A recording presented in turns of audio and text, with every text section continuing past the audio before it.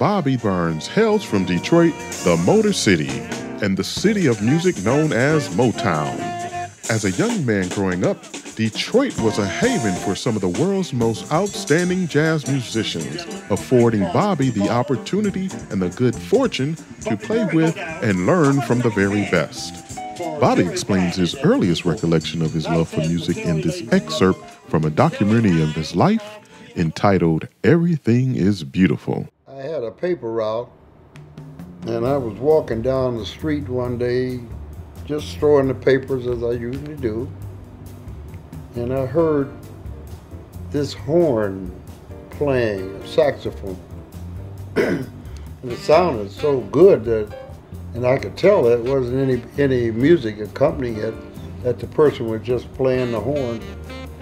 And it sounded so good, I asked my uh, customer that I was delivering the papers to if I could go in and listen to this person that was playing.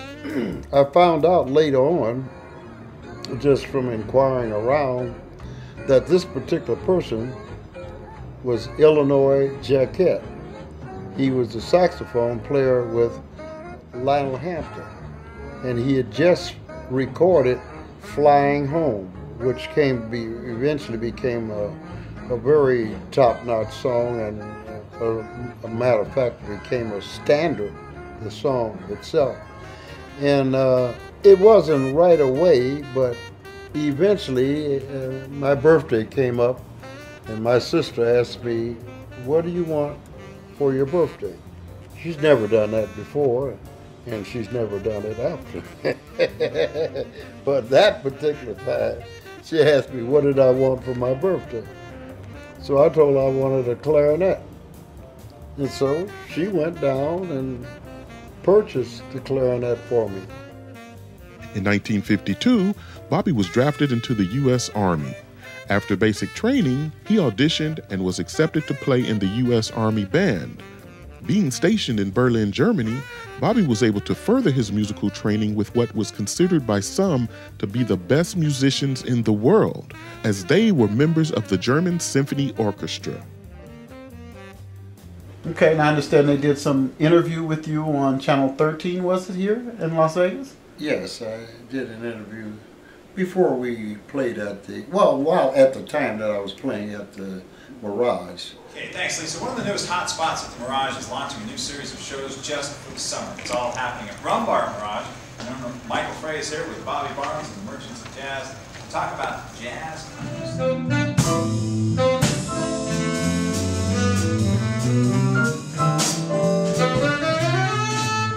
Now I understand also that you've been playing at a lot of senior citizen homes. How do they receive this kind of music?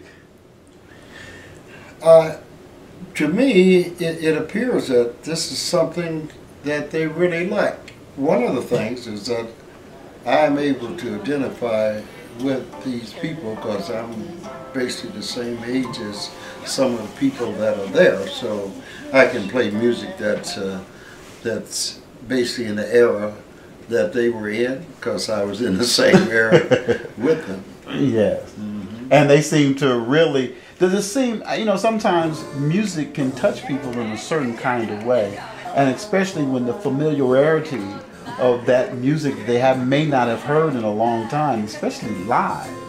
I can imagine that may have a, a positive effect on on on them at these kind of institutions. Well, I notice uh, some of the songs that I play, for example, when I play a song like "When You're Smiling," the whole world smiles with you that's something that they can identify with.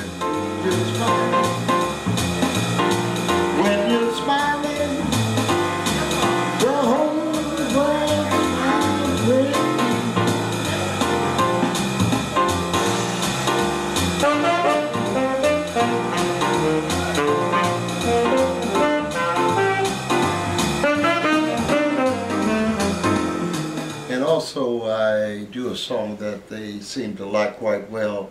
Uh, that was recorded by Louis Satchmo Armstrong. What song is that? Uh, uh, that's uh, What a Wonderful World. Let me hear you do a little bit of that. I see trees of green.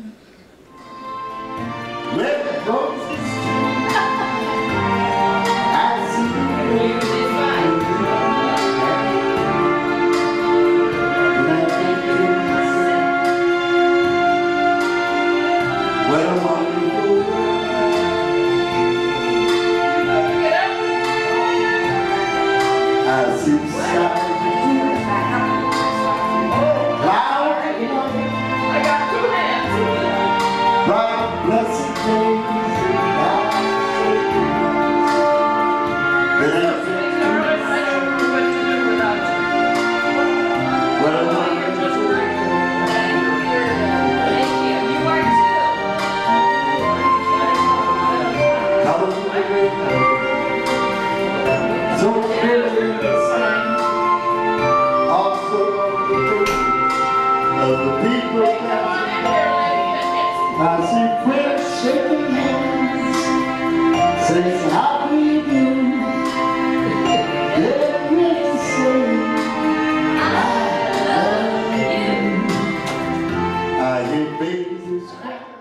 Donald Byrd was in the first band that I had, and that was in 1949.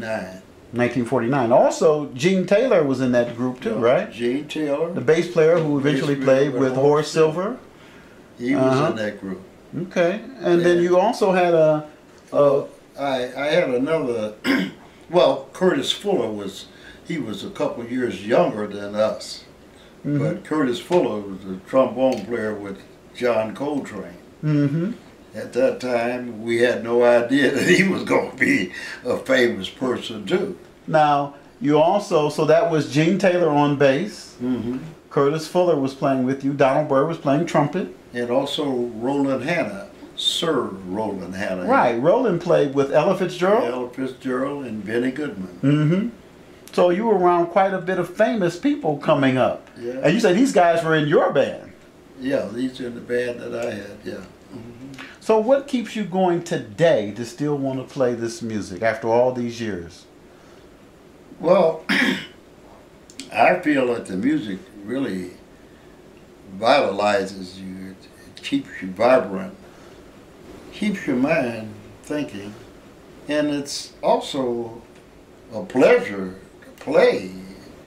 Right now, I'm here in Las Vegas, and I'm I'm teaching at uh, Sam Ash Music Studio, Mm-hmm. and uh, that's a, a very fine venture.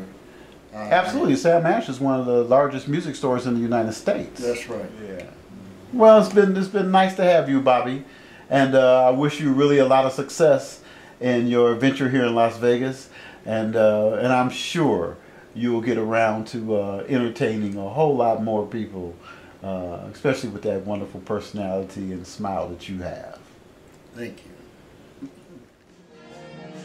For booking info, please call Bobby at 702 349 3807 or visit him on the web at www.bobbybarnes.com.